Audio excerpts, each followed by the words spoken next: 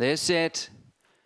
Racing now, away swiftly, Darty. D Black is punching up, Prince Theory prominent. And then came Tallulah Goodnight. Where's Rizzo? Well back, Dynamite Dan, Miss Alira, and High Babe, the leader, Darty. In pursuit, D Black. And then Prince Theory. D Black hit the lead. D Black raced away and beat Darty. Third, Prince Theory. Fourth is Tallulah Goodnight.